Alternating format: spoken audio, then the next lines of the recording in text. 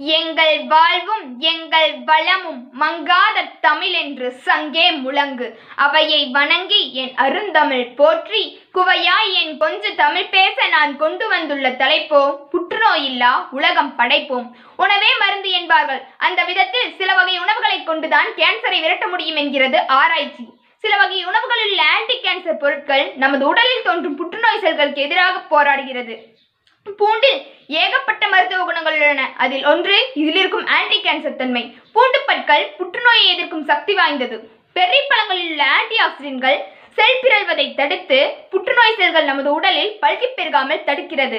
எனவே anti cancer diet இருப்பவர்கள் ஒரு கையளவு ப்ளூபெர்ரி பிளாக்பெர்ரி ஸ்ட்ராபெர்ரி போன்ற பழங்களை எடுத்துக்கொள்ளலாம் தக்காளி ஆண்களுக்கு ஏற்படும் புரோட்டிஸ்டேட் கேன்சரை தடுக்கிறது.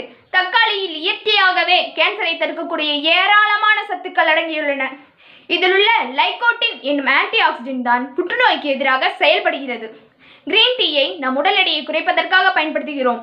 அந்த இலையில் உள்ள கேட்சின்ஸ் எனும் ஆன்டி ஆக்சிடென்ட் தான் புற்றுநோய்க்கு எதிராக செயல்படுகிறது. இது புற்றுநோய் கட்டிகளை சுருக்கி அதன் வீரியத்தை குறைக்கிறது. அந்த காலத்திலேயே நம் முன்னோர்கள் முழுதானிய உணவுகளை தான் எடுத்து வந்தார்கள். அந்த உணவில் உள்ள நார்ச்சத்துக்களும் ஆன்டி ஆக்சிடென்ட்களும் சேர்ந்து புற்றுநோயினால் ஏற்படும் ஆபத்தினை பெருமளவில் தவிர்க்கிறது. எனவே இனி உணவில் ஓட்ஸ் பார்லி பழுப்பு அரிசி கோதுமை ரொட்டி போன்றவற்றை சேர்த்து கொள்ளலாம். மஞ்சள் தூள் இந்திய உணவுகளில் பெரும்பாலும் சேர்க்கப்படும் ஒன்று. மஞ்சள் தூளில் உள்ள குர்குமின் என்ற வேதிப்பொருள் தான் புற்றுநோய்க்கு எதிராக போராடுகிறது. சிவப்பு பீன்ஸில் உள்ள நார்ச்சத்துக்களும் ஆன்டி ஆக்சிடென்ட்களும் சேர்ந்து புற்றுநோய் வராமல் தடுக்கிறது. கருப்பு திராட்சையில் உள்ள ரிவால்டெஸ்ட் என்னும் ஆன்டி ஆக்சிடென்ட் தான் புற்றுநோய்க்கு எதிராக செயல்படுகிறது. புகைப்பிடித்தல் மது அருந்துதல் போன்ற தீய பழக்கங்களை கைவிட்டு இந்த உலக புற்றுநோய் தினத்தன்று. நான் கூறிய ஆன்டி கேன்சர் டயட்டை பின்பற்றி ஆரோக்கியமாய் வாழ்வோம். புற்றுநோய் இல்லா உலகம் படைப்போம் என்று கூறி எனது உரையை முடித்துக் கொள்கிறேன். நன்றி வணக்கம்.